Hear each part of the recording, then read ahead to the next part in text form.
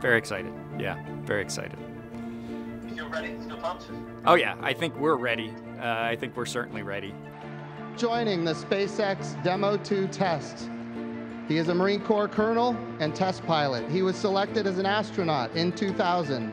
He piloted Space Shuttle Endeavour and Atlantis for STS-135, the final space shuttle mission. Introducing NASA astronaut Doug Hurley.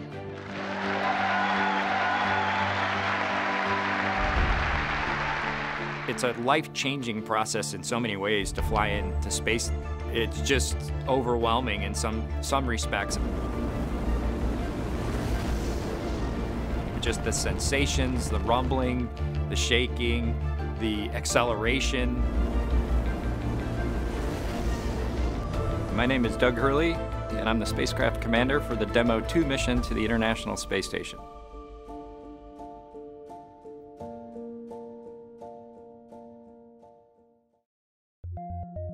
This will be the first time the Dragon had a crew on board, and so there's a, a, a myriad of objectives we want to achieve for this mission.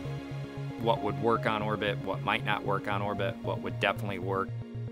To be able to just have the entire integrated uh, team that's going to support us getting to and from space station. It was really neat being part of it.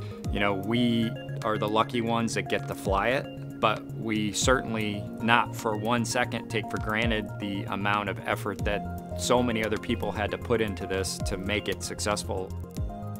For Doug personally, he's he's worked so hard. I mean, through his entire life um, to get to where we are right now. As a test pilot, this would be the dream to fly a new vehicle.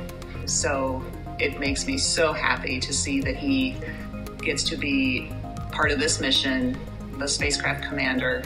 I'm just glad to see his hard work and his dreams come true for that. It's been a long road in a lot of ways for not only us, but certainly for all the folks that work in the Commercial Crew Program, as well as SpaceX in our case, just working to get to this point.